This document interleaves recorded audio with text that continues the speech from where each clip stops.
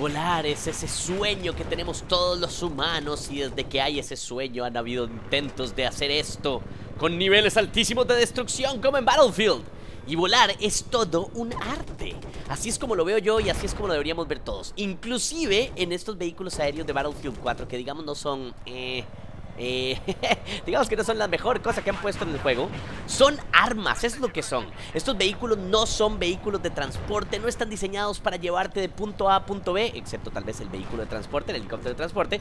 Todos los demás vehículos aéreos están diseñados para una cosa y una cosa solamente. Destrucción aérea.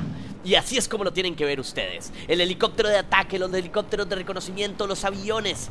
Tienen que aprender a usarlos. Yo sé que lo he estado diciendo un montón y he hecho algunos videos de aprender a volar y he hecho algunas eh, tutoriales, etcétera. Pero la única forma real de entender cómo se utilizan y de cómo puedes ser tú el mejor que puedes ser en el aire y tener una, una, una, un desempeño increíble y traer destrucción masiva desde el cielo es practicando. Hay que tomarlos, hay que saber en helicóptero hay que saber mantenerlo a, race, hay que saber trabajar en equipo, hay que saber capturar los eh, cuando estás volando en helicóptero, hay que saber inclusive recoger a tus compañeros para no dejarlos botados, como lo ven acá.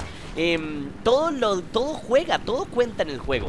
Battlefield 4 y cualquier otro shooter en realidad donde te hayan puesto vehículos, hay que tomar los vehículos. Y una cosa que a mí me molesta en cualquier modo de juego, em, últimamente he estado jugando un poquito más de conquista, casi nunca juego conquista de hecho, pero últimamente me han dado ganas de jugar conquista porque tengo ganas de volver al cielo. Y aunque Battlefield 4 no es la mejor opción para volar, porque la verdad es que los vehículos son un poquillo basurillas, son todavía buenas armas. Y son buenas formas de ganar una partida y de ayudarle a tu equipo. Ahora una cosa importante es entender para qué sirve cada uno de estos vehículos, cuáles son sus mejores armas, porque obviamente las puedes ir desbloqueando conforme más lo uses, y cuál es la forma correcta de mantenerte vivo y mantenerte en el cielo cuando estés, cuando estés jugando.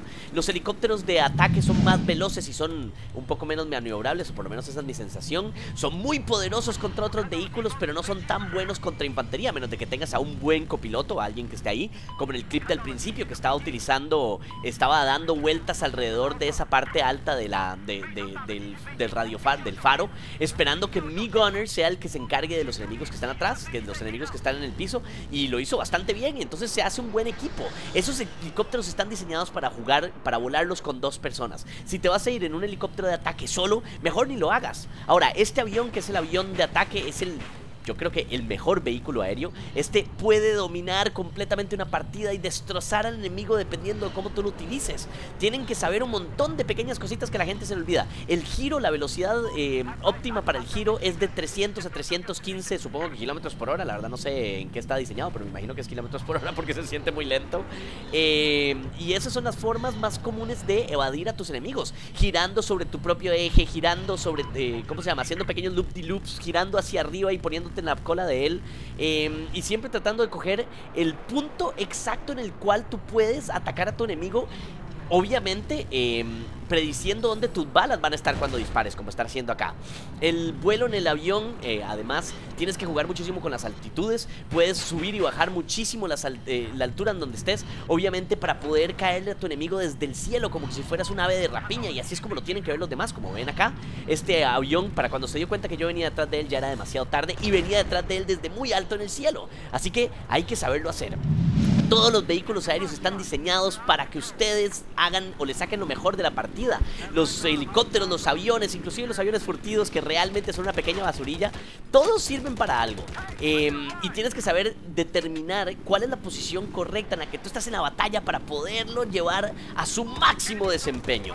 Em, yo soy un gran amante de todos los vehículos aéreos, en todos los shooters que se puedan dar, y siempre me van a ver montándome en uno cuando pueda, y por eso es que me he hecho bastante bueno. Desde Battlefield 3 a Battlefield 4, a Planet Side y cualquier otro juego en el cual ustedes vean que hay vehículos aéreos, siempre hay una opción para que ustedes traigan destrucción desde el cielo. Así que chicos, ya saben, no los den por vencidos y no los dejen como que solamente son malos. Hay muchísimo que hacer con los vehículos aéreos, no solamente son de transporte, por favor no lo hagan más, me desespera cuando alguien toma un vehículo, un avión, un helicóptero de ataque y lo usa solamente para llegar de punto A a punto B. Así no están hechos, así no es la idea, pues y así no te van a ayudar a ganar a tu equipo. Y bueno chicos, esto es todo. Si les gustó, dejen un like y favorito. Si no les gustó, ya saben, dejen lo que les dé la gana. Y hasta la próxima vez. Adiós.